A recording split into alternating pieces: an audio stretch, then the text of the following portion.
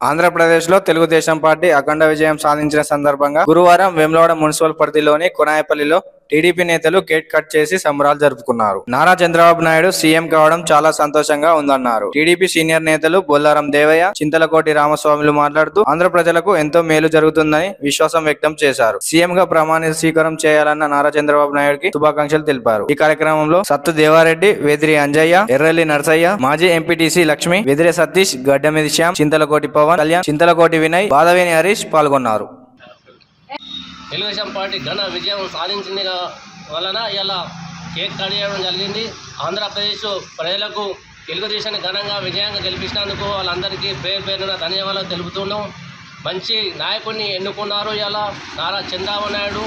మంచి ముఖ్యమంత్రి కాబట్టి పనులు చాలా వరకు ఆయన చేసిండు కాబట్టి మళ్ళీ చేస్తాడని ఆయన అభిమానం కొద్దీ బ్రహ్మాండమైన మెజార్టీతో గెలిపించినందుకు వాళ్ళందరికీ పేరు పేరున ధన్యవాదాలు తెలుపుతున్నాం. ఉమ్లాడ నియోజకవర్గంలో తెలుగుదేశం నాయకులు అందరు తెలుగుదేశం నాయకులు అందరూ పాల్గొని ఘనంగా ఇవాళ మేము కడి చేసి సంబరాలు చేసుకోవడం జరిగింది. చంద్రబాబు నాయుడు ఈ ఐదోసారి గెలిచుడు.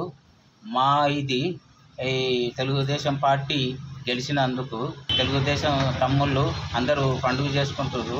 చంద్రబాబు నాయుడు మన తెలంగాణలో చాలా కంప్యూటర్ సిస్టంలో అంతా చేసింది ఆయన్నే. మళ్ళీ ఏపీలో ఇప్పుడు గెలిచినందుకు ఈ ఏపీ జనానికి మన తెలంగాణ జనానికి నమస్కారాలు ధన్యవాదాలు.